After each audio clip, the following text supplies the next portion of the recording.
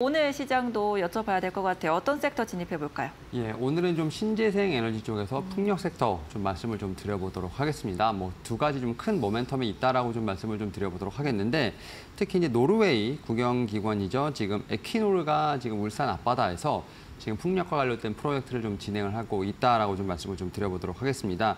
지금 현재 울산 앞바다에서 발전 용량 800메가와트, 그다음 200메가와트 부유식 해상 풍력 프로젝트를 좀 진행을 하고 있다라고 볼 수 있을 것 같은데요.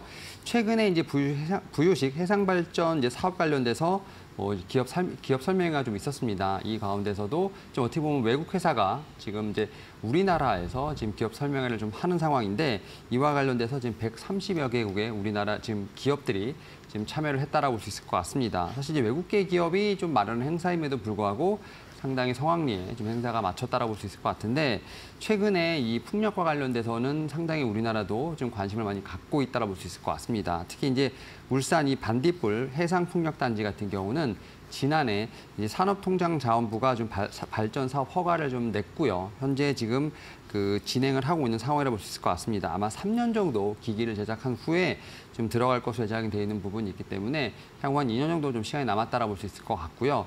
특히 이제 에키노르 같은 경우는 이제 해상풍력 프로젝트를 진행하고 있으면서 또 다른 이제 한편으로는 포트폴리오에 대한 어떤 다변화를 좀 꿈꾸고 있다고 볼 수 있을 것 같은데 특히 이제 이와 관련돼서는 뭐 암모니아, 뭐 수소 관련된 저탄소 사업까지도 좀 계획을 하고 있다는 점에서 봤을 때 일단은 이 회사의 어떤 그 움직임 분명히 주목해봐야 되지 않을까라고 좀 말씀을 좀 드려보도록 하겠고 그리고 이제 우리나라 지금 이제 전라남도가 상당히 풍력과 관련돼서 좀 많은 움직임을 좀 보여주고 있다라고 볼 수 있을 것 같습니다. 특히 이제 전라남도 같은 경우는 2030년까지 민간 자금 등을 좀 포함해서 48조 이상을 지금 이제 신안의 해상에 지금 추진 중인 세계 최대 8.2기가와트 해상 풍력 발전 단지를 좀 짓는데 노력을 하고 있다고 볼 수 있을 것 같고 여기에 영광, 수도, 진도 같은 여러 시군에서 계획 용량 30기가와트에 좀 해당하는 대규모 해상 풍력 해상 풍력 발전 단지를 구축하고 있다고 볼 수 있을 것 같습니다.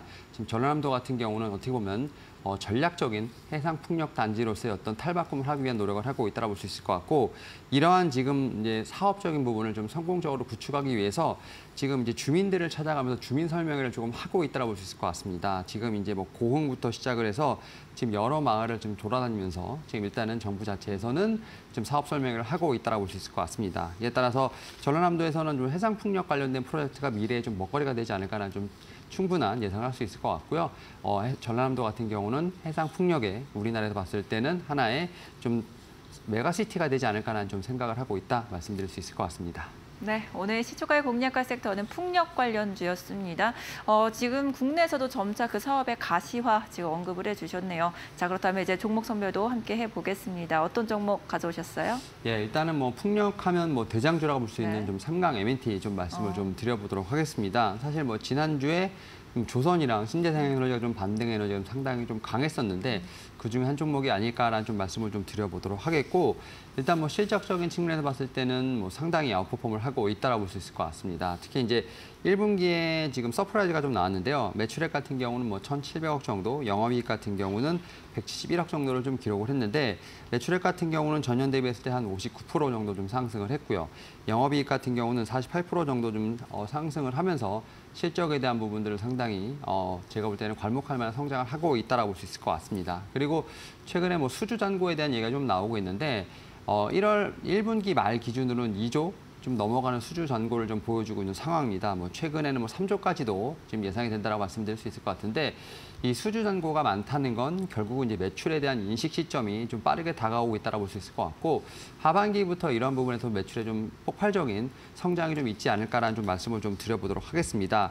그리고 최근에 이제 해상 풍력 하부 구조물 관련돼서 수요가 상당히 늘어나고 있다라고 볼 수 있을 것 같은데 특히 이제 러시아, 우크라이나 사태로 해서 유럽에서 좀 해상 풍력에 대한 부분들이 많이 니즈가 좀 일어나고 있는 부분이 있기 때문에 이러한 측면에서 동사의 경쟁력이 좀 부각되지 않을까라는 말씀을 좀 드려보도록 하겠고 특히 동사 같은 경우는 좀 아시아를 기반으로 해서 미국으로 좀 진출하고 있는 부분이 있었습니다만 유럽 시장도 좀 상당히 길이 열리고 있다는 부분이 있습니다. 이에 따라서 최근에 뭐 저가 수주에 대한 얘기가 좀 상당히 많이 나오고 있는데 동사 같은 경우는 좀 수주를 좀 골라서 받을 수 있는 그런 좀 경쟁력이 있다라고 보시면 된다고 좀 말씀드릴 수 있을 것 같고 최근에 이제 이 회사 같은 경우는 뭐 풍력에 대한 모멘텀도 충분히 있지만 좀 조선에 대한 모멘텀도 있다라 말씀드릴 수 있을 것 같습니다. 뭐 최근에 뭐 해군이 수주한 어떤 이제 호위함들을 좀 수주를 하면서 결국 이제 해상 풍력뿐만 아니라 조선 쪽에도 모멘텀이 충분히 있다라고 좀 보시면 될 것으로 보이고 있고요.